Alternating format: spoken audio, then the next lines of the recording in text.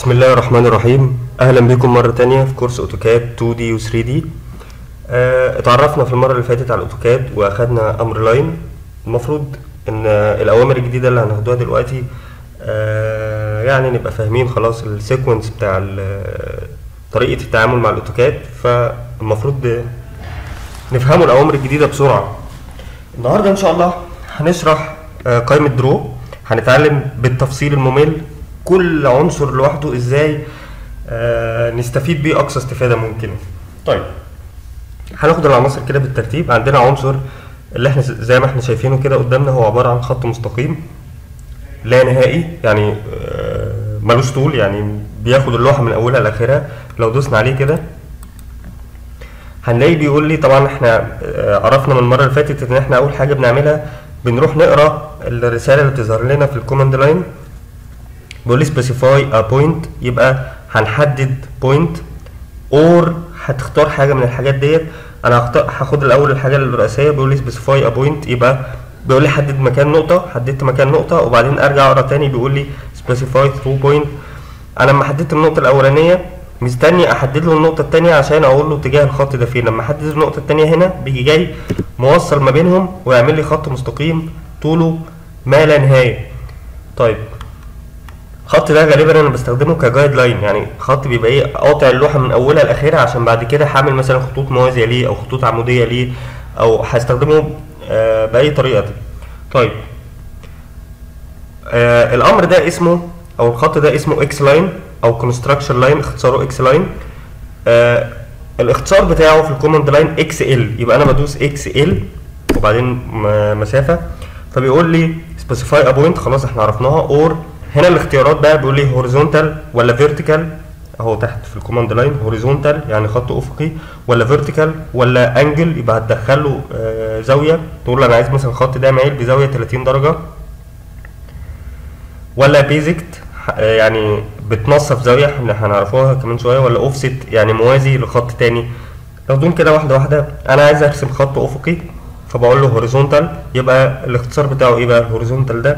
نلاقي إن حرف ال H capital يبقى الاختصار بتاعه H تمام؟ يبقى أما أحب أختار ال horizontal بدوس H بدوس H عشان كلمة horizontal أول حرف آه حرف ال H capital مش عشان هو أول حرف عشان ده الحرف ال capital تمام؟ هدوس H عشان أرسم خط أفقي. لما أحدد له خط أفقي أو رأسي أو أحدد له الزاوية اللي أنا عايزها مش محتاج إن أنا آه، أحدد له نقطتين زي ما كنت بعمل هنا في الخط اللي عملته الأولاني لا محتاج نقطة واحدة بس وهو بيجي شادد منها خط افقي هن- نشوف بقى ال xline ده افقي اهو مستنيني إن أنا أحدد له مكان الخط ده فبحدد له نقطة واحدة بس على الخط وهو بيوصلها بيعمل لي إيه خط افقي طيب لو عايز أرسم خط رأسي vertical بمنتهى البساطة هقول XL وبعدين V اللي هو اختصار vertical وبعدين أحدد له النقطة اللي أنا عايزها. طيب بسرعة برضو عايزين نرسم خط xline مايل بزاوية 45 درجة يبقى هقول له XL وبعدين اختار angle حرف ال A عشان حرف ال A هو ال capital. هنا بيقول لي enter angle of xline تمام؟ or reference طيب. هنا ال angle أنا عايز خط يبقى مايل بزاوية 45 درجة يبقى هكتب له 45 درجة. يتبقى لي إن أنا أحدد له نقطة آه، بحيث تبقى موجودة على ال xline ده أهو يبقى رسم لي xline مايل بزاوية 45 درجة. طيب تعالوا نرجع تاني لموضوع ال angle ده xline angle. لقيته بيقول لي حدد الزاوية or reference إيه ال reference ده؟ لو أنا عندي زاوية نمسح بس الكلام ده.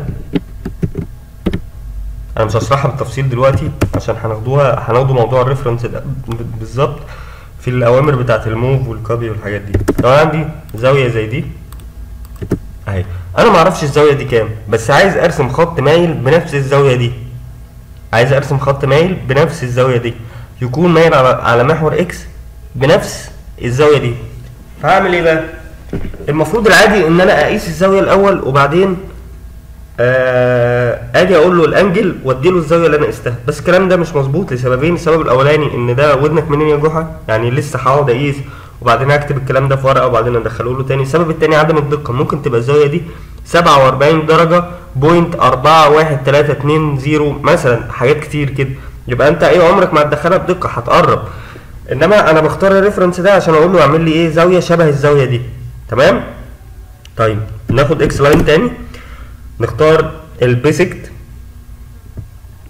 هنختار ال bisect آه ال bisect ديت بتديني بتنصف الزاوية. أنا عندي زاوية أهي بتنصفها فهختار ال bisect هدوس على حرف ال B قلت له xline B قال لي بقى إيه؟ قال لي اختار angle vertex يعني اختار راس الزاوية أهي راس الزاوية. وبعدين بديله الضلع الأولاني أهو والضلع الثاني أهو. فلقيناه عمل خط xline بينصف الزاوية دي. طيب نرجع لل xline تاني وناخد ال option الأخير هو ال offset ال offset ده أنا عايز أرسم خط يكون موازي موازي للخط ده. ويبعد عنه مسافة معينة يبعد عنه مثلا 5 متر. تمام؟ فبيقول لي specify offset distance أنا عايز يبعد قد إيه؟ 5 متر فهدخل له 5 وبعدين بيقول لي عايز 5 متر من انه ob... آه من انه object هقول له من ال object ده اللي هو الخط ده يبعد 5 متر. هقول لي حلو. أنت عايز 5 متر الناحية دي ولا الناحية دي؟ يعني يرسم خط موازي ليه كده ولا يرسم خط موازي ليه الناحية الثانية فأنا بدوس على الناحية اللي أنا عايز آه الخط يبقى فيها أهو. فعملت كده. يبقى هو عمل إيه؟ عمل موازي للخط ده جه الخط ده موازي ليه على مسافة 5 متر. طيب xline offset نجرب المرة دي 10 متر من الناحية الثانية 10 متر من نفس ال object ده بس الناحية الثانية أهو. يبقى رسم لي إيه؟ construction line موازي ليه على بعد 5 متر من الناحية الثانية طيب أنا عندي مثلا إيه دايرة؟ أهي. عندي دايرة أنا عايز أعمل إيه بقى؟ آه عايز ارسم خط construction line موازي لده بس يكون بيمر بال center line ده. ال center line بتاع الدايرة. طيب العادي هنعملها إزاي؟ ان أنا هقيس المسافة من الخط ده لغاية ال center line عشان اعرف كام واقول له اوفست واديله المسافة دي. طبعا إحنا قلنا ان الكلام ده غلط عشان غير دقيق وفي نفس الوقت بياخد وقت كتير. تعالوا نشوفوا نعملوها إزاي. ادي ال construction line offset بيقول لي بقى إيه؟ specify distance or through through دي يعني حدد لي نقطة تكون على الخط. يعني أنا بديله نقطة وبعدين هو إيه لما بيرسم الخط بيخليه يخلي الخط ال construction line ده يمر من على النقطة دي. أنا عايز ال construction line يمر بإيه؟ يمر بالمركز بتاع الدايرة دي. رحت محدد له مركز الدايرة. طيب. قال لي specify second point sorry ثواني. أدي ال construction line وبعدين قلت له اوفست وبعدين قلت له through فدوست على حرف ال T عشان through قال لي بقى إيه؟ select line object رحت مختار ال line object أنا عايزه يبقى موازي لده. قال لي هات through point through point اللي هو فين؟ اللي هو الموازي اللي هو بيمر بالمركز بتاع الدايرة أهو. يبقى أنا عملت موازي ليه؟ وفي نفس الوقت بيمر بال center بتاع الدايرة. ناخده تاني ال construction line بسرعة كده. أدي ال construction line ال construction line هو عبارة عن خط مستقيم آه طوله ما لا نهاية. بيقطع اللوحة من أولها لآخرها. بيقول لي specify a point or specify a point يبقى أنا هحدد له النقطة الأولى وبعدين هحدد له النقطة الثانية عشان أحدد اتجاه الخط. ناخد ال construction line تاني. عايز أرسم خط horizontal يبقى بدوس H وبعدين أحدد له نقطة واحدة وهو بي بيشد منها خط أفقي. construction line تاني. ال vertical نفس الكلام بس رأسي. ال angle نفس الكلام بس بحدد له زاوية أو بحدد له reference لزاوية تانية. نشوف كده angle أنا عايز أرسم آه خط بزاويه 30 درجة وبعدين بحدد له آه مكانها فين؟ أهو. أدي construction line ال bisect ال bisect ده آه بينصف زاوية. أنا عندي زاوية زي دي. دي زاوية أهي. عايز أنصفها ادوس B وبعدين اديله ال vertex construction line اديله مكان ال vertex بتاع الزاوية. وبعدين أي نقطة على. على المحور الأولاني وأي نقطة على المحور الثاني أبص ألاقيه إيه؟ نصف الزاوية بتاعتي. طيب construction line اتبقى لي ال offset ال offset يعني خط موازي. أنا عندي حاجة من الاثنين يا إما بقول له خط موازي. مثلا لو عندي خط ده. عندي خط ده. أنا عايز أرسم خط موازي ليه؟ عندي حاجة من الاثنين أقول يا إما أقول له خط موازي للخط ده على مسافة معينة وادي له المسافة يا إما خط موازي للخط ده. وبيمر بنقطة معينة تمام؟ يبقى في الحالتين هستخدم الاوفست هقول له إيه؟ construction line offset هنا لو هحدد المسافة هقول له مسافة مثلا 30 من ال object ده الناحية دي. تمام؟ ده لو هحدد المسافة. لو هحدد نقطة معينة يكون بيمر بيها هقول له construction line offset وبعدين through فبيقول لي select ال line object أهو. بيقول لي أنت عايزه بقى يكون فين؟ هديله نقطة يكون بيمر بيها. أهو. طيب ده ال construction line خلاص نمسح الكلام ده. ندخل على اللي بعد منه. اسمه polyline polyline وده الاختصار بتاعه PL دوس PL آه، طريقة رسم ال- ال polyline هي نفسها طريقة ال line بالظبط. حدد النقطة الأولى وبعدين أحدد النقطة التانية بنفس الطريقة يا إما ب- بختار نقطة بختار مكان النقطة بالماوس زي ما قلنا المرة اللي فاتت أو بديله الطول والزاوية أو بديله ال X Y الإحداثيات تمام؟ أهو. تمام. طيب ده لو polyline لو line هنعمل إيه؟ هنعمل نفس الكلام بالظبط. أهو. أهو هنا بقى عايزين نشوفوا إيه؟ إيه الفرق ما بين ال polyline وال line أهو ده ال polyline ده ال polyline ده ال line اللي فوق ال polyline واللي تحت ال line. الاتنين إيه؟ بستخدمهم بنفس الأسلوب بالظبط وبنفس الطريقة. الفرق في إيه بقى؟ إن ال line هو عبارة عن segment segment يعني كل قطعة لوحدها. شايف القطعة دي؟ أهي. أنا حددتها لوحدها. وبعدين في قطعة تانية أهي. شايف لما بعدي بالماوس بتنور قطعة واحدة أهي. وبعدين قطعة ثالثه ال polyline بقى كله عبارة عن قطعة واحدة. حتى لما باجي آه، أحدده بيتحدد على إن هو إيه؟ قطعة واحدة. طيب أنت بستخدم ال line وأنت بستخدم ال polyline. طبعا بستخدم ال polyline. لما يكون ال ال ال الرسمة بتاعتي كلها قطعة واحدة. يعني أحب لما أحب مثلا أغير في الخصائص بتاعتها أحب أغير في اللون مثلا أختاره كله مرة واحدة وأغير لونه. لكن لو عملت كده مع الخط لو اخترت آه، واحد بس وعملت كده هيغير لي إيه؟ حتة واحدة. يبقى لازم أقعد أختار الأولاني وبعدين التاني وبعدين التالت وهكذا. آه مثلا أنا عندي حدود بتاعة البيت. عندي قطعة أرض مثلا. وعندي حدود بتاعه المبنى بتاعها الحدود دي الأفضل إن أنا أعملها polyline ليه أعملها polyline عشان أي تغيير أحب أغيره فيه يبقى بغير مرة واحدة ما أقعدش بقى أجري ورا الخطوط دي كلها ورا الرسم تمام؟ ناخد بقى ال polyline تاني. خلاص نمسح الكلام ده. polyline PL. هنا قال لي specify start point أهو. لقيته طلع لي options تانية.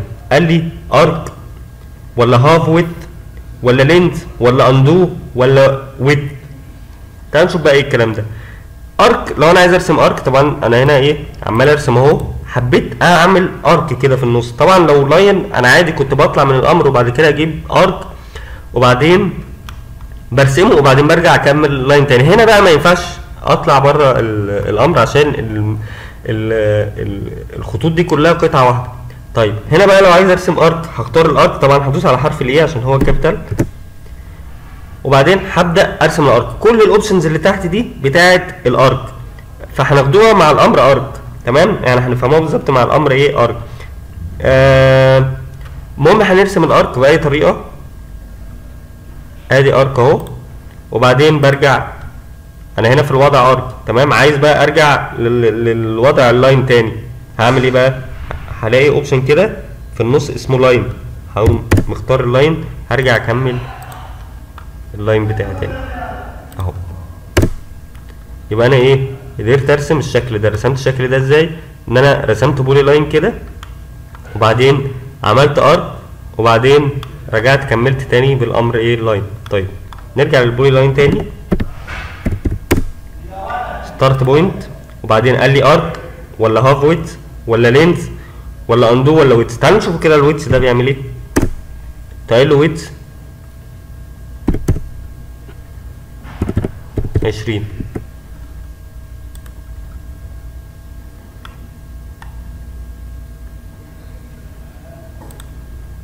زي ما إحنا شايفين بس أنا إيه يعني زودتها كتير. خلينا نوضوع width كده يبقى معقول.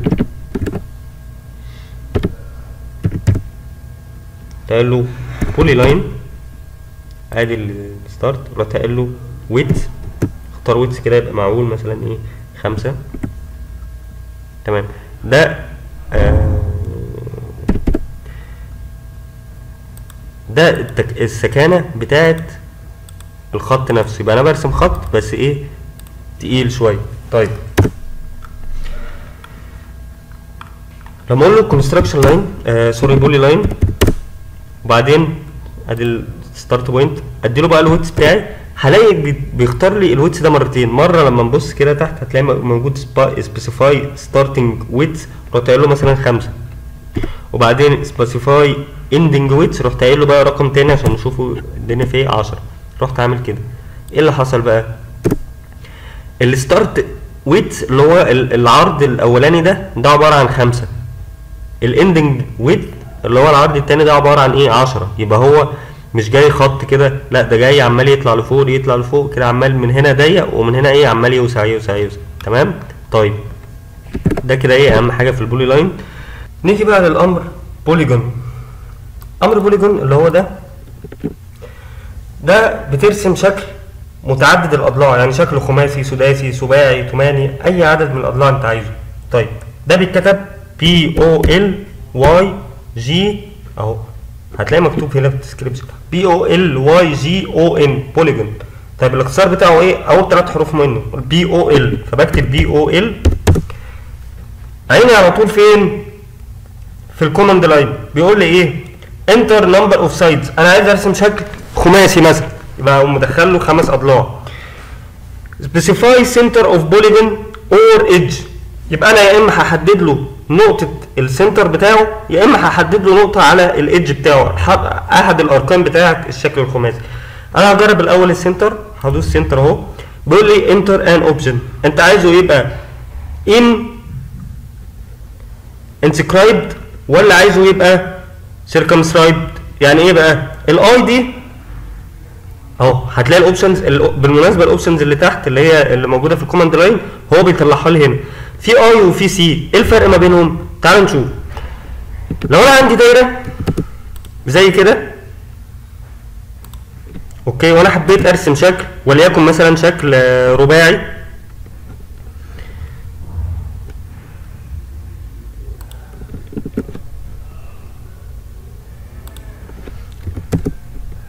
شكل مثلا رباعي ولا خماسي ولا أي حاجة؟ خليها شكل رباعي أهو. مثلا فرض إن ده شكل يعني مظبوط. الشكل ده مرسوم جوه الدايرة. يبقى أنا لو اديت له ال center line بتاع الشكل الرباعي ده اللي هو المفروض يبقى مستطيل. نرسمه على نظافة أحسن أهو.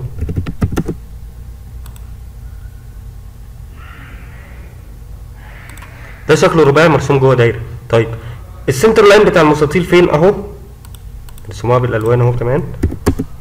لو افترضنا مثلا إن ده كده وده كده يبقى ال center line بتاع المستطيل فين؟ أهو. طيب. أنا بديله القطر بتاع الدايرة اللي بتحتوي المستطيل ده اللي هي فين؟ الدايرة دي. أنا اديت له القطر ده. تمام؟ أو نص القطر. وبعدين رسم دايرة اللي هيرسم جوه المستطيل. هنا بيقول لي أنت عايز المستطيل ده يبقى جوه الدايرة زي الشكل اللي إحنا شايفينه ده ولا عايزه يبقى كده؟ أدي الدايرة أهي. وأدي المستطيل يبقى المستطيل إيه؟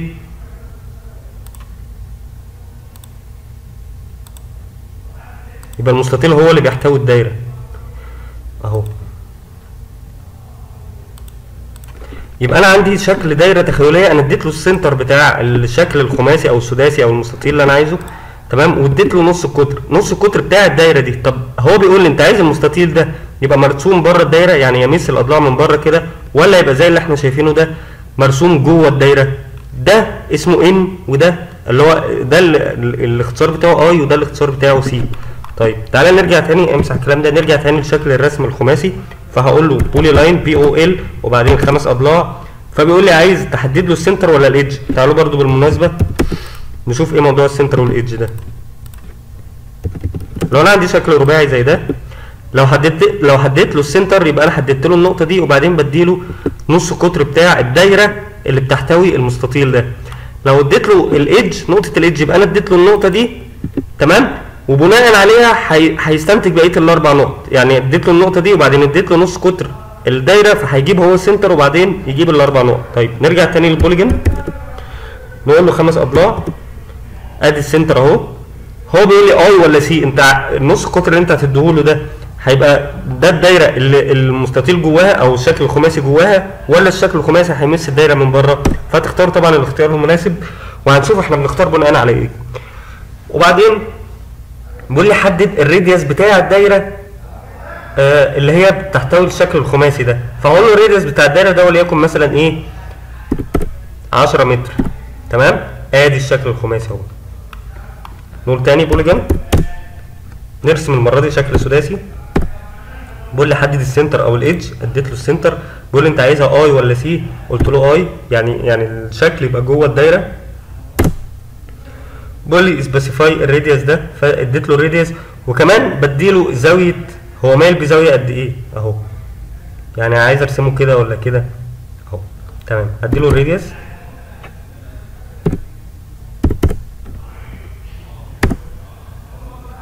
okay.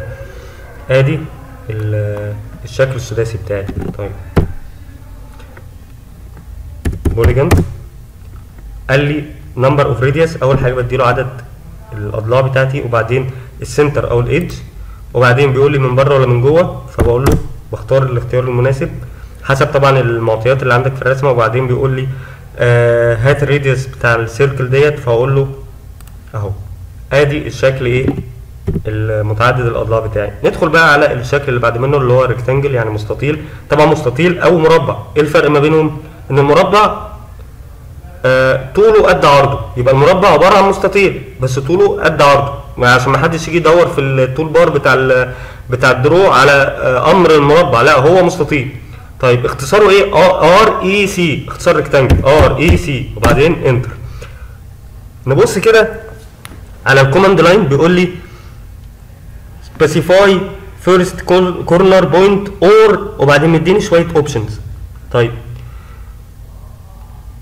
specify first corner يبقى لو أنا عندي مستطيل زي ده أنا بديله ال corner الأولاني ده وبعدين بديله ال corner الثاني ده هو بيجي جاي موصل ما بينهم يرسم لي مستطيل. تعالوا نشوف R E C rectangle specify first point اديته له specify other point or وبعدين مديني شوية إيه options أنا هقول له ال- ال- ال corner الثاني أهو.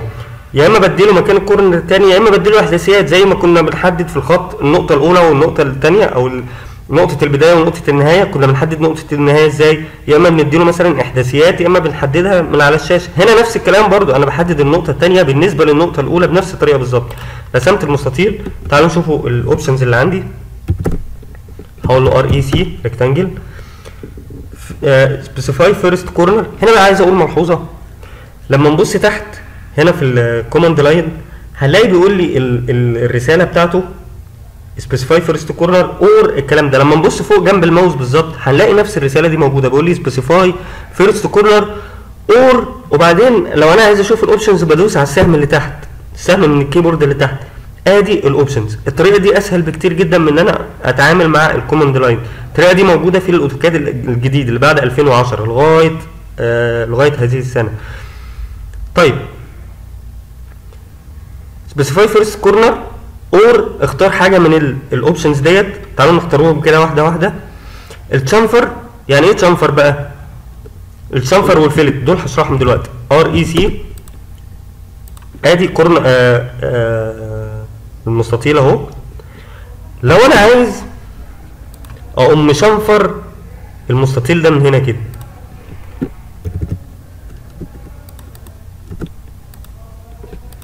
شايف المستطيل عمل إزاي؟ يبقى المستطيل اتشنفر. يعني إيه اتشنفر؟ يعني الزاوية الحادة بتاعته راحت متشنفرة كده. طيب يعني إيه fillet لو أنا جيت عملت دايرة كده.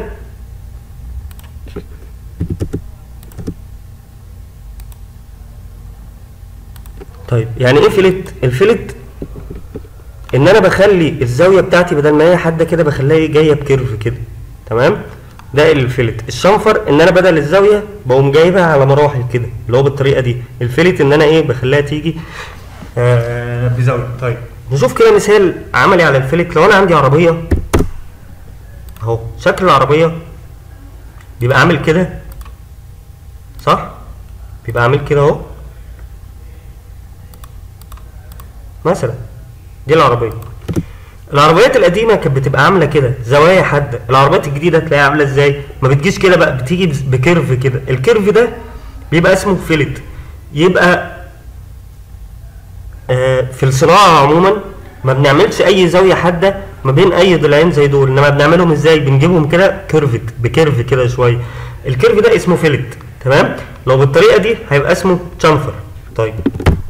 عرفنا يعني إيه chamfer ويعني إيه fillet نشوف بقى إزاي نعمل مستطيل متشنفر وإزاي نعمل مستطيل آه curved يعني معمول له fillet هقول REC ندوس على السهم اللي تحت عشان نشوف ال options هنختار ال chamfer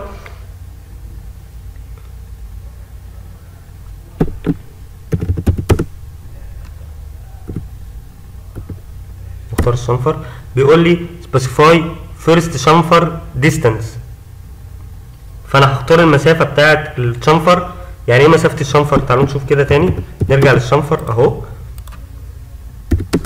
افترضنا ان أنا شنفرته كده اهو. فانا بيقول لي المسافة الأولانية دي المسافة دي دي اسمها ال first chamfer distance وبعدين المسافة الثانية دي اللي هي الرأسية دي دي مسافة ال chamfer الثانية يبقى ال chamfer بيكون ليه المسافة الأفقية دي؟ يعني انت عايز تشنفر من هنا قد إيه؟ والمسافة الرأسية دي. طيب لو أنا عايز ال chamfer ده يبقى جاي مايل بزاوية 45 درجة يبقى لازم المسافة الأفقية تبقى قد المسافة الرأسية. نجرب ال chamfer REC عشان أجيب المستطيل وبعدين أدوس بالسهم اللي تحت وأختار chamfer. بيقول لي اختار آه، مسافة ال chamfer الاولانيه أنا هقول له نص متر مسافة ال chamfer الثانية نص متر وبعدين هرسم المستطيل عادي جدا أبص ألاقي chamfer المستطيل. طيب المفروض المسافة دي اللي هي الأفقية دي نص متر المسافه الرأسية برضو أنا اخترتها إيه؟ نص متر. طيب تعالوا نجرب ال fillet REC ندوس على السهم اللي تحت نختار منه fillet بيقول لي اختار ال radius بتاع ال fillet أنا هختار برضو نص متر. ونجرب نرسم المستطيل هنلاقي المستطيل بقى جاي إيه curved كده. طيب تعالوا نجرب نكبر بس ال fillet ده شوية عشان نشوفه. نخليه إيه مثلا 2 متر. وبعدين نرسم مستطيل. أهو. هنلاقي المستطيل بقى fillet يعني ما بقاش زاوية حادة كده بقى إيه fillet ده اسمه fillet وده اسمه chamfer. okay. طيب نشوف بقية ال options بتاعت المستطيل. REC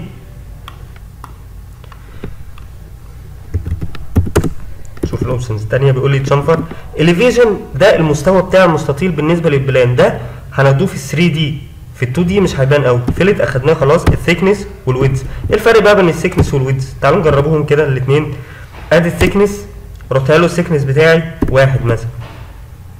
ورحت راسم مستطيل. عادي جدا. هل في حاجة اختلفت؟ لا ما اختلفتش. طيب نشوف REC نجرب ال width كده. أنا عايز ال width يبقى كام؟ رحت قايل له واحد ورحت راسم مستطيل. إيه اللي حصل بقى؟ يبقى ال width ده هو التخانة بتاعه المستطيل. ال width هو التخانة بتاعه المستطيل. خد بالك إن المستطيل ده معمول له fillet ليه؟ عشان أنا آخر مرة كنت قايل له إن ال fillet بتاعي بيساوي واحد. يبقى لازم أصفر ال fillet. أما أجي أقول REC أما أجي أبص في ال في ال في ال command line هتبص هتلاقي إن قايل لي إن خد بالك الإعدادات بتاعت المستطيل ال width بواحد يعني هيطلع زي ده وال fillet باتنين يبقى هيطلع في fillet. يبقى أنا لازم أقول له لازم أختار ال fillet وأقول له إن ال fillet ب zero وأختار ال width وأقول له ال width بتاعي كمان ب zero. ده عشان أرسم المستطيل العادي اللي إحنا متعودين عليه. طيب ده بالنسبة لل width بالنسبة لل thickness بقى إيه اللي حصل؟ بالنسبة لل thickness حصل زي ال width بالظبط بس في الاتجاه الثالث اللي هو اتجاه Z. فده برضو حاجة من الحاجات بتاعه ال 3D مش هتبان هنا. نراجع على على الأمر rectangle تاني REC الطريقة العادية إن أنا أحدد له النقطة الأولى ال corner الأولاني وال corner الثاني REC نختار ال option chamfer وأدي له المقاسات بتاعت ال chamfer المقاس الأولاني والمقاس الثاني وارسم مستطيل عادي جدا يطلع لي مستطيل متشنفر معلش أنا هكبر ال chamfer ده شوية. هخليه اتنين مثلا عشان يبان. أهو. يبقى المستطيل طلع متشنفر طيب عايز ال chamfer ده يبقى fillet. يبقى عايزه يبقى إيه؟ يبقى جاي curve كده. يبقى أختار إيه؟ fillet. REC وادوس على السهم اللي تحت اختار fillet. وادي له مقاس ال fillet بتاعي أو ال radius بتاع الدايرة اللي هتعمل لي fillet. أهو. خد بالك إن ال fillet ده عبارة عن جزء من دايرة يعني نتخيل إن في هنا دايرة كده. طيب نشوف إيه تاني options ال option width ده بيديني التخانة بتاعه المستطيل دوت. أنا هقول له ال width بتاعي بيساوي واحد وبعدين أرسم مستطيل يطلع لي مستطيل إيه؟ فيه تخانة كده. طيب نرجع تاني لل options بتاعت ال width قلنا إن ال thickness ده بتاع 3D وال elevation كمان بتاع 3D إيه بقى ال thickness وال elevation ده؟ لو أنا رسمت مستطيل عادي خالص أهو. بس أبص تحت الاقي بيقول لي إن ال fillet باتنين وال thickness بواحد وال width بواحد. فأنا عايز أصفر الكلام ده هقول له fillet ب zero. وبعدين ال width ب zero تمام؟ وال thickness برضو ب zero. وبعدين أرسم مستطيل عادي خالص أهو. طيب.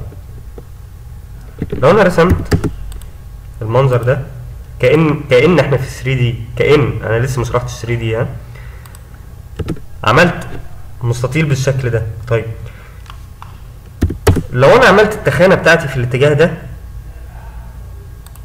يعني نتخيل إن دي كده إيه التخانة بتاعت المستطيل. ده في الاتجاه اللي هو X يعني أنا محدد إن ده كده X تمام؟ وده Y sorry ده X وده Y و Z اللي هو ال- العمودي على ال- اللوحة نفسها. ال thickness ده اللي هو في اتجاه Y في اتجاه X ده تمام؟ ده اللي هو اللي إحنا شفناه فعليا ده اللي هو اسمه width طيب. لو ال thickness في الاتجاه ده ده اسمه thickness. يبقى ده اسمه width وده اسمه إيه؟ thickness. طيب. ال elevation بقى لو أنا عندي المستوى بتاعي عندي المستوى بتاعي مستوى اللوحة نفسها عامل كده. تمام؟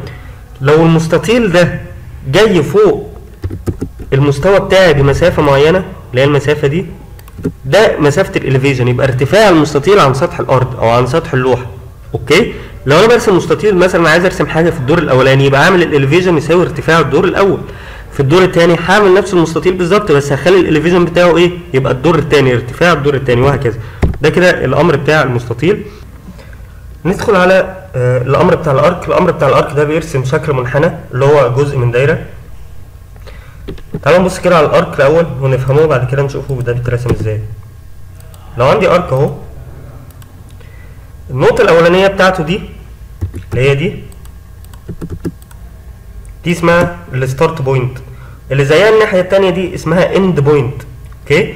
طيب أنا بشوف ال ال ال center بتاعي أو ال radius بتاع ال- arc أهو ال center بو ال center point بتاعت ال arc دي اللي هي جزء من دايرة ده ال center بتاع ال arc بقى عندي ثلاث نقط مهمة لل arc هو ال start point وال end point وال center point اللي هي مركز ال arc طيب طول الأرض ال arc أو ال length بتاع ال arc ده بيتحسب منين؟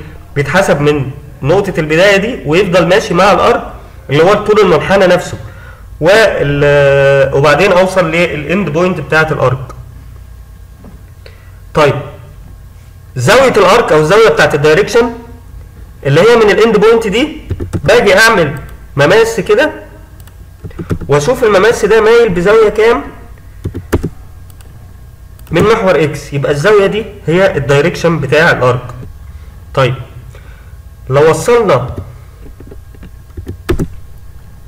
نقطة البداية والنهاية وال center الثلاث نقط دول يبقى الزاوية دي اسمها زاوية ال arc دي ال angle of arc يبقى أنا عندي زاويتين خد بالك. الزاوية اللي ما بين ال start point وبعدين ال center point وبعدين ال end point الزاوية دي اسمها إيه؟ ال angle of arc إنما الزاوية آه اللي هي نقطة التماس بتاعة ال end point دي مع محور X دي اسمها ال direction بتاع ال arc طيب نرسم بقى ال arc إزاي؟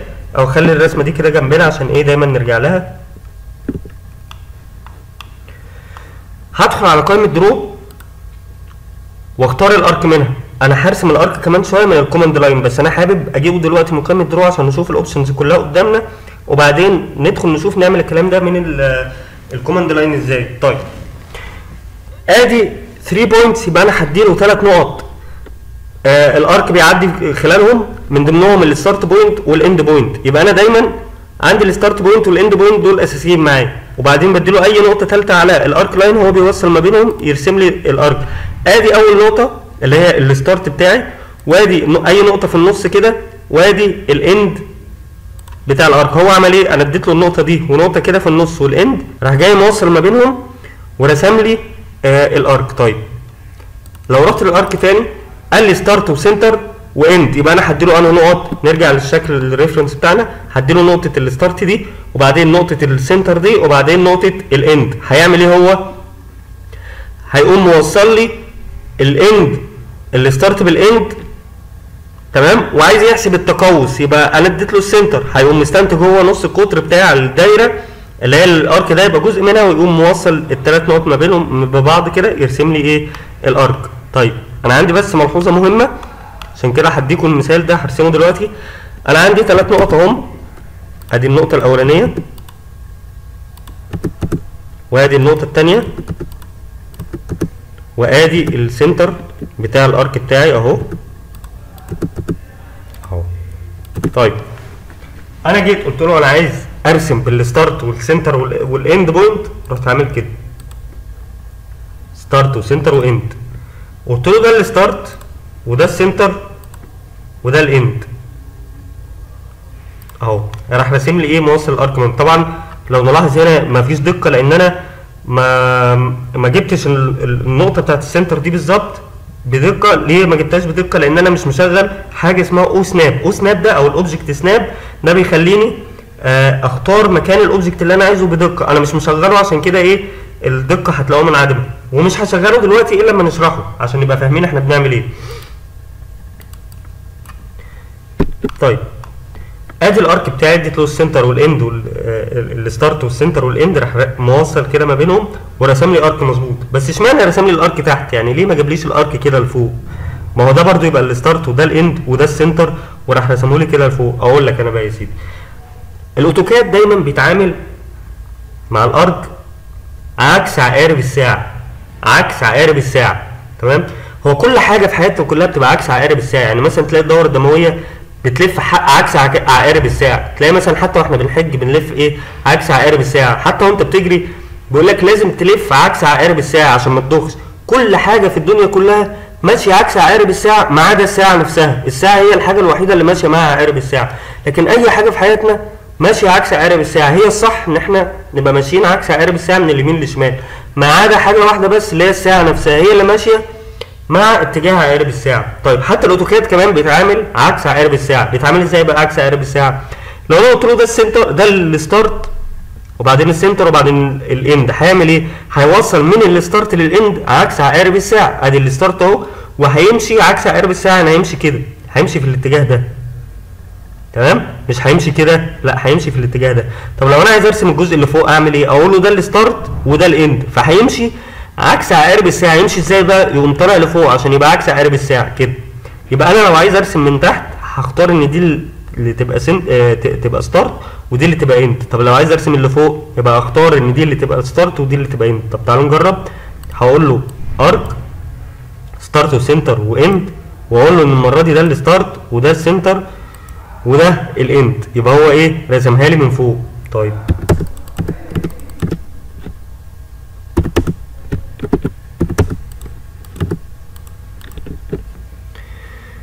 ندخل اللي بعديه.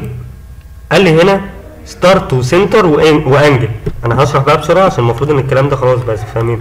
يبقى أنا هقول له ال start أهو وال end أهو خد بالك. انه فيهم start وانه end لها علاقة بالقاعدة بتاعت عكس عقارب الساعة. وال angle يبقى أنا هديله إيه؟ الزاوية دي. أنا دايما بديله ال start وال end وبعدين بديله آه، آه، معلومة كمان يستنتج منها مقدار التقوس ده. هنا أنا بديله الزاوية بتاعتي دي. بديله الزاويه دي قد إيه؟ فبيستنتج منها إيه؟ مقدار التقوس ده. تمام؟ طيب آدي ال arc تاني. start و center و length. يبقى أنا هديله نقطة البداية وهديله ال center ده وهديله الطول بتاع ال arc اللي هو من خلاله هيعرف يجيب إيه؟ ال end point ويوصل ما بينهم. وخد بالك انه فيهم ال start دي ولا دي؟ ده على حسب أنا عايز أرسمه كده من فوق ولا من تحت. أنا كده على الشكل اللي أنا راسمه دي ال start عشان يمشي كده. لكن لو أنا عايز أرسم من تحت ال arc من تحت يبقى بخلي نقطه الشمال هي اللي تبقى start عشان يمشي كده. لو عايز الخط من فوق لو عايز ال arc من فوق يبقى بخلي النقطة اللي على اليمين هي ال start طيب. أرجع تاني لل draw arc start و end و angle خلاص start عارفينها end عارفينها angle عارفينها. start و end و direction يبقى أنا اديله ال start وال end تمام؟ بختار انه start وانه end حسب مكان ال arc أنا عايزه فين؟ لو على الوضع الحالي يبقى نقطه اليمين دي هي الستارت اديت له الستارت دي الستارت ودي الاند اديت له ال start وال end اتبقى لي بقى ال direction إيه ال direction دي؟ اللي هي زاوية التماس بتاعت نقطة النهاية مع محور X اللي هي هتبقى دي. لما أقول له كده بفرض إن أنا عملت كده زاوية تماس. الزاوية دي ميلها مع محور X كده؟ ميلها مع محور X يديني ال direction الاتجاه بتاع ال arc طيب. نرجع ل draw تاني. وادي arc. قال لي start و end و angle دي شرحناها. start و end و direction شرحناها. start و end و radius يبقى أنا هديله نقطة البداية ونقطة النهاية. وال radius بتاع ال arc. أنا دايما بديله إيه؟ نقطة بداية ونقطة نهاية. وبديله معلومة ثالثه بي بيستنتج منها مقدار التقوس ده. يعني ال arc بتاعي هيجي متقوس كده قليل. ولا هيتقوس جامد كده؟ يبقى أنا إيه بديله يا إما بديله نقطة على ال arc يا إما بديله الزاوية دي يا إما بديله ال direction يا إما بديله ال radius كل دي معلومات بيقدر يستنتج منها مقدار التقوس بتاع الخط. طيب أدي draw arc سنتر وستارت واند وسنتر وستارت وانجل طبعا واضحين. center و start و length كل دول خلاص إحنا فهمناهم. continue دي هنشرحها كمان شوية. نيجي بقى كده. نبص لو إحنا هنرسم مع ال command line تمام؟ أنا هنا لو هجيب ال option من من قائمة draw طب لو هنرسم مع start line مع ال command line هقول له arc الاختصار بتاعه حرف ال A وبعدين ادوس مسطرة. بقول specify start أو center يبقى أنا لو هبدأ بال start الأول يبقى أنا هختار option من ال options دي. يعني start وبعدين النقطة الثانية أنا عايزها center ولا end عايز center ولا angle عايز center ولا length عايز end ولا angle كده. يبقى أنا في الأول هحدد له نقطة ال start. طيب لو أنا بدأت بنقطة ال center يبقى أنا هحدد له ال center الأول وبعدين أقول له ال start وال end أو start و angle وهكذا. طيب هقول له إيه؟ اختصار arc أنا هبدأ بال start أهو. وبعدين بيقول لي أنت عايز بعد كده تحدد ال center ولا تحدد ال end بيقول لي specify second point ده لو أنا عايز أعمل ثلاث نقط على على ال arc يبقى أنا حددت النقطة الأولى اللي هي ال start وبعدين نقطة كده على ال arc وبعدين نقطة ال end أهو. كان ممكن إيه؟ أقول له arc وبعدين اخترت النقطة الأولانية. عايز بقى أحدد ال center مختار حرف ال C عشان center وبعدين دوست على ال center وبعدين أكمل بقى. يا إما أديله ال length يا إما أديله ال- ال angle يا إما أديله ال end point تمام؟ يبقى أنا نفس ال options دي أقدر أجيبها من ال command line أو أجيبها من هنا على طول. اسهلهم على الإطلاق إن أنا يبقى عندي ثلاث نقط على ال arc أو على حسب طبعا المعلومة اللي عندي لو أنا عندي زاوية ال arc وعندي ال start وال وال وال center مثلا يبقى أنا إيه؟ هختار ال option حسب المعلومات اللي عندي. طيب نيجي بقى ال option كمان اللي في الآخر خالص ده اسمه continue يعني إيه continue يبقى أنا عايز أكمل بعد ال arc ده عايز أعمل مثلا arc تاني كده. يبقى إيه؟ الاتنين مكملين مع بعض. يعني إيه مكملين مع بعض؟ يعني أنا لو خدت خط كده بغض النظر عن الدقة المنعدمة دي خالص هتلاقي إن الخط ده يمس ال arc ده في نقطة نفس النقطة دي هي نقطة التماس مع ال arc التاني مع نفس الخط. يبقى الخط ده أو النقطتين دول مع بعض عاملين تماس مع بعض. تمام؟ هاجي أقول له arc بعدين أقول له continue يبقى أنا هكمل منين؟ من آخر نقطة أنا وصلت لها طيب هل آخر نقطة دي لازم تبقى arc؟ لا. يعني أنا لو رسمت line كده ورحت قايل له draw arc continue هيكمل منين؟ هيكمل من آخر نقطة أنا كنت واقف عندها. أهو. تمام؟ خلينا نرسم حاجة واضحة شوية. draw arc continue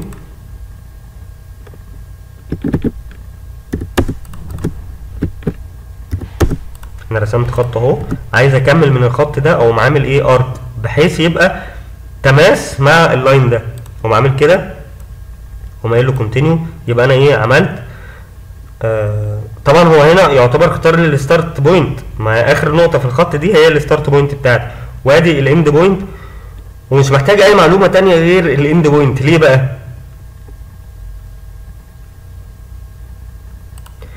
لأن هو عنده already ثلاث معلومات. المعلومة الأولى اللي هي ال start start point اللي هي تبقى ال end point بتاع الخط.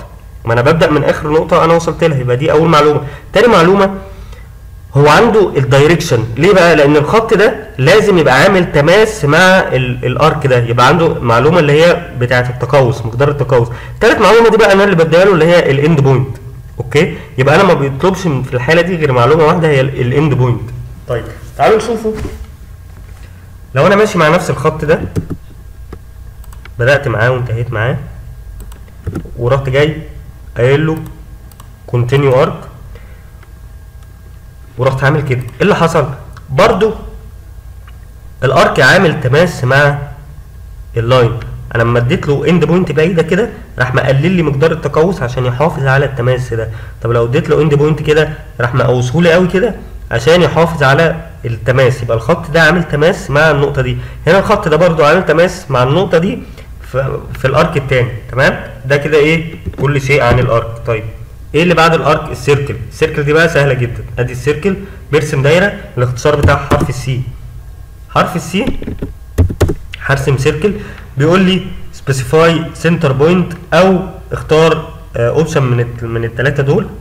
آه، العادي إن أنا هديله ال center point وبعدين هديله ال radius أو ال diameter لو أنا عايز أرسم دايرة نص قطرها 10 متر اديله ال radius 10 متر. نرجع تاني لل circle أديله C بعد المسطرة وإديت له ال center بتاعي. عايز بس اشغل ال object snap إديت له ال center بتاعي. وعايز أرسم دايرة يكون قطرها 15 برسم دايرة قطرها 15 يبقى أنا عايز ال diameter. لما أدوس على السهم اللي تحت هيطلع لي إيه؟ ال diameter. اختار منه ال diameter أو أدوس حرف ال D وأقول له إن ال diameter بتاعي 15 يبقى أنا إيه رسم لي دايرة ال diameter بتاعها 15 تمام؟ دي دايرة ال- ال radius بتاعها 10 دي ال diameter بتاعها 15 طيب نرجع تاني لل circle ندوس على السهم اللي تحت عشان نشوف ال options قال لي 3P 3 point يعني ثلاث نقط بيمروا بالدايرة زي ما ما شفناها في ال arc أو 2P نقطتين بيمروا بالدايرة. هنشوفوا الأمر ده بيعمل إيه. أو TTR يعني tangent tangent radius هنشوف برضو يعني هنختار ال- الاختيار الأولاني اللي هو 3P يعني ثلاث نقط بيمروا بالدايرة وهو بي بيوصل ما بينهم بدايرة. أنا اديت له الثلاث نقط دول. أو تعالوا نرسموه إيه نقط؟ تبقى واضحة كده. أدي النقطة الأولى.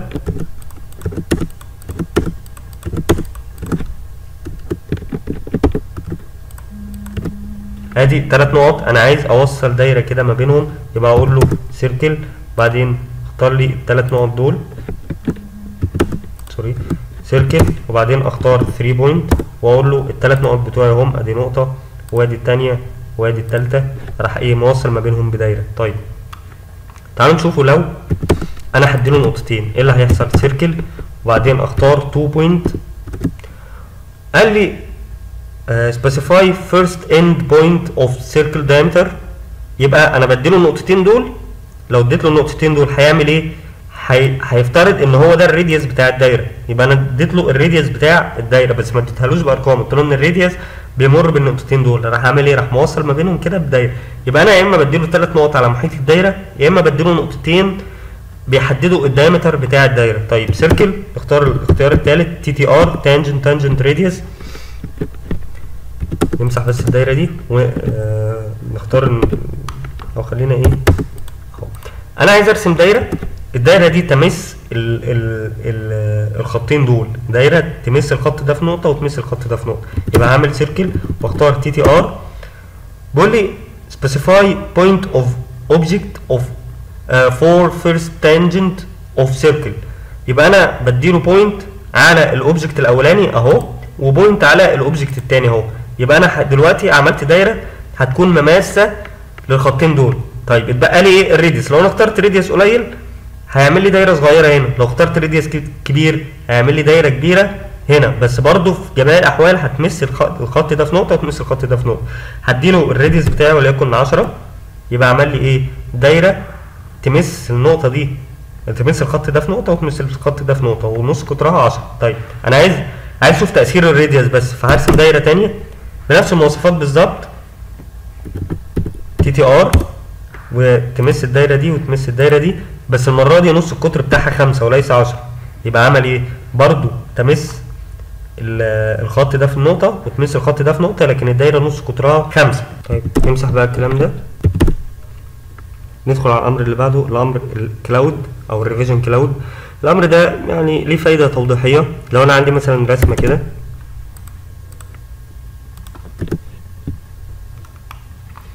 آه وفي اي أي شوية details كده مثلا.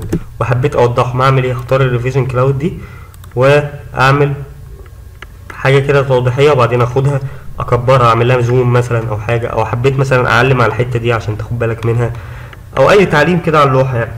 طيب ده بنرسمه إزاي؟ بنختار ال revision cloud وبنحدد أول نقطة وبعدين من غير ما أدوس على أي حاجة في الماوس بفضل ماشي ماشي ماشي ماشي لغاية ما بوصل للنقطة الأولانية تاني هو بيقفل اوتوماتيك أهو.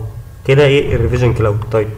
إزاي نتحكم في آه، شكل التقوسات دي أو مقدارها؟ نختار ال revision cloud تاني. هلاقي بيقول لي ال arc length أو ال object أو ال style هنختار ال arc length ندوس على حرف ال A عشان أحدد له مقدار ال arc بتاعي ده التقوس بتاع ال arc فأنا هختار arc length يكون كبير شوية.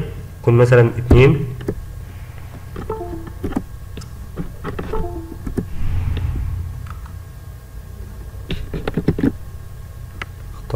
كده. بعدين أقول له arc أقول له ال arc length بتاعي اتنين.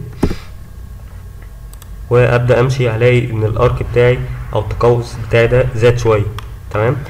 آه برضو لو اخترت رقم يكون أكبر شوية. يكون مثلا خمسة. هنلاقي إيه؟ أهو إن ال- ال- ال arc نفسه ده زاد شوية. ناخد الأمر اللي بعده اللي هو ال spline ده. ال spline اللي هو خطوط curve كده. اهي. ده ده خطوط إيه؟ كيرفات شبه الرسم البياني يعني. ده الاختصار بتاعه.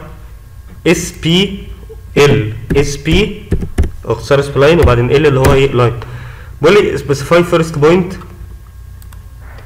وبعدين next point وهكذا. يبقى أنا إيه؟ عمال أرسم في خطوط منحنية كده. لو أنا عندي رسم بياني بقعد إيه؟ اوصل النقط ببعضها بحيث يطلع لي ال spline ده. لو جينا نشوف ال options بتاعتها بيقول لي specify first point or method. تعال نشوف إيه ال method دي. ال method عندي يا إما fit يا إما CV تعال نشوف إيه ال fit وإيه ال CV لو أنا عندي نقط زي كده.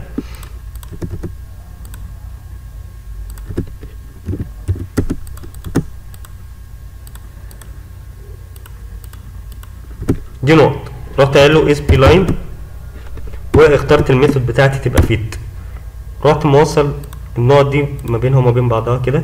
زي ما انت شايف إيه ال curve عمال يعدي على النقط اهي. ال curve عمال إيه يعدي على النقط بتاعتي. يبقى هو وصل النقط ببعضها. ده ال ال ال ال fit. طب تعالوا نشوفه. لو نفس النقط عندي اهي وجيت برضو عملت spline واخترت ال method تبقى CV. ورحت برضو محدد مكان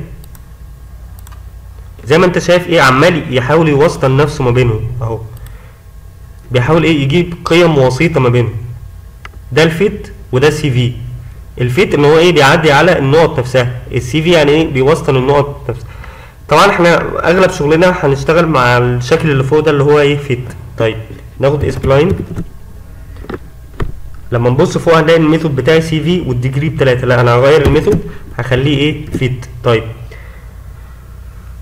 آه بسرعة نشرح بقية ال options بس من غير ما ناخدها. ال object ده لو أنا عندي خط أهو نشرحه ليه؟ ما نشرحه بالتفصيل أهو. لو أنا عندي polyline زي ده عايز أحول ال polyline ده لخط spline فهعمل إيه؟ أختار ال spline وبعدين أقول له خد ال object ده حوله لي ل spline آه هنا لازم يبقى ال method CV هنا في الحالة دي عشان أحول ال polyline spline لازم ال method تبقى CV فأقول له spline وبعدين أختار ال method وبعدين أختار ال CV وبعدين أختار ال object اللي هو ده. يبقى إيه هو حوله لي؟ ل spline طيب نمسح الشاشة نشوف إيه ال option اللي بعدها. آه ال ellipse. طبعا ال ellipse اللي هو شكل بيضاوي فهندوس كده نشوف شكله بس الأول. أهو ده شكل ال ellipse. اللي هو مثلا لو لو نتخيل المحور اللي بيلف حوالين كوكب المشتري مثلا أو حاجة بيبقى حاجة عاملة كده. طيب ال ellipse ده بقى بيترسم إزاي؟ أهو. بيقول لي specify axis end point of ellipse يبقى أنا هديله ال axis الأولاني. لما نبص بس إيه أنا عايز أرسم آه ellipse كده على السريع. عشان نشرح عليه. أهو نشرح كده شوية خصائص على ال ellipse لو عملنا كده فده ال axis بتاع ال ellipse. يبقى ده axis بتاع ال ellipse وده ال axis التاني اللي هو العمودي عليه. طيب. ده نص القطر بتاع ال axis الأولاني أو طول ال axis الأولاني وده طول ال axis التاني. تمام؟ طيب تعالوا نشوفوا لو هنرسم ellipse. آدي ellipse أهو. بيقول لي حدد لي ال end point بتاع ال axis فبختار النقطتين اللي هما بتوع ال axis الاولاني اللي هي اللي زي النقطة دي والنقطة دي. كده أنا إيه حددت له طول ال axis الاولاني. طيب بيجي على ال axis الثاني بيقول لي حدد لي ال distance to other axis فبديله مسافة ال axis الثاني اهو. يبقى إيه اللي أنا عملته هنا؟ اديت له النقطتين الاولانيين النقطة دي والنقطة دي فعرف خلاص ان ده ال axis. تمام؟ راح جاي هنا من نص ال axis ده وقايل لي هات لي ال distance بتاع ال axis التاني. رحت مديله المسافة دي اللي هي مسافة تعتبر نص القطر دي. طيب نشوف ال ellipse تاني. قال لي specify end point of ellipse or arc or center. إيه ال center ده بقى؟ center اللي هو ده اللي هو ال center بتاع ال ellipse اللي هو عن طريقه. هديله ال distance الأولانية بتاعت ال axis الأولاني وال distance الثانية بتاع ال axis الثاني فيرسم لي إيه؟ يرسم لي ellipse. تعالوا نختار كده ال center بيقول لي specify center of ellipse. ادي ال center بتاع ال ellipse اهو. وبعدين هات لي مسافة ال axis الأولاني ومسافة ال axis الثاني اهو. يبقى أنا اديت له النقطة دي اللي هي ال center والنقطة دي والنقطة دي. راح جاي اعمل إيه؟ راح جاي من هنا أعرف ال axis بتاعي قد إيه وال axis الثاني قد إيه. راح موصل ما بينهم ب ellipse. نيجي بقى للأمر point اللي هو بيرسم نقطة. بص كده هتلاقي نقطة. أنا عايز أرسم نقطة. نقطه عاديه خالص. بستخدم الأمر point نقعد بس عليه عشان نشوفه. point أهو بيقول لي creates multiple point objects. يبقى أنا برسم نقط زي اللي هي مرسومة قدامي كده بالأحمر. طيب. الأمر point اختصاره PO PO بعدين أدوس مسطرة. بيقول لي a point. يا دوب بس بيقول لي حدد مكان النقطة أهي. بحدد مكان النقطة. يبقى أنا إيه؟ رسمت مجموعة من النقط. طيب. عندي اتنين options في النقط. ال option الأولاني اللي هو شكل النقطة. وده بحدده من الأمر PDMODE وحجم النقطة أو مقاس النقطة PDSIZE لو أنا جيت رسمت خط صغير كده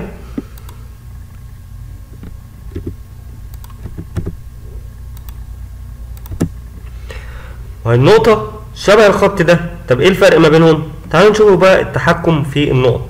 الفرق ما بينهم في التحكم في النقط. ده عبارة عن خطين لكن ده عبارة عن point طيب. أول أمر بيتحكم لي في النقط أمر اسمه PDMODE شكل النقط بتاعتي وده رقم من واحد لغاية أربعة. شوفوا مثلا الشكل رقم تلاتة. لقيته إن هو عملها لي إيه؟ cross غير لي شكل النقط ل crossات كده.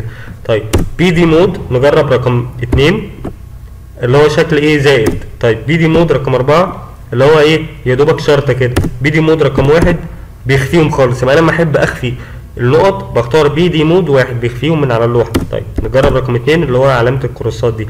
خد بالك إن اللي انطبق على النقط كلها ما انطبقش على ده لأن ده مش نقط ده خطين متقاطعين صغيرين. ده line طيب نيجي لل PDSIZE PDSIZE أهي مكتوبة قدامنا. PDSIZE وببدأ أتحكم في حجم النقطة. ده الحجم الحجم رقم zero لو اخترت الحجم رقم واحد مثلا يبقى إيه؟ النقط حجمها زاد شوية. طيب PDSIZE نختار رقم ثلاثة يبقى حجم النقط بقى كبير أهو. طيب ده الأمر بتاع النقط أو ال point الاختصار بتاعه PO كده إحنا خلصنا معظم القائمه بتاعة draw اتبقى لنا شوية أوامر دي هناخدوهم مع بعض كده متجمعه آه دول لازم ناخدوهم آه يعني هناخد شوية أوامر الأول وبعد كده ناخدوهم زي الأوامر بتاعة ال blockات أمر insert block لازم نفهم الأول يعني إيه block وبنحتاجه في إيه وبعدين ناخدوا الأمر ده. والأمر make block تمام؟ أمر point خدناه خلاص. أمر ال hatch إن أنا بهشر شكل معين. ده أمر ال gradient شبه ال hatch برضو بس بيبقى إيه؟ يعني شكل زي اللي إحنا شايفينه بالأزرق ده بيبقى شكل متدرج. أمر table برسم جدول أو باخد جدول من آه ال Excel. أمر text وعندنا أكتر من أمر لل text ده multiline text والامر اللي هو add selected دول آه إن شاء الله هناخدوهم المرة الجاية أو هناخدوهم بعد المرة الجاية يعني المرة الجاية هندخلوا في أوامر ال modify على طول. وبعدين هنبقى ناخد الاوامر دول مع بعض في lecture كده أو في محاضرة متجمعة مع بعض إن شاء الله. إن شاء الله نشوفكم المرة الجاية والسلام عليكم ورحمة الله.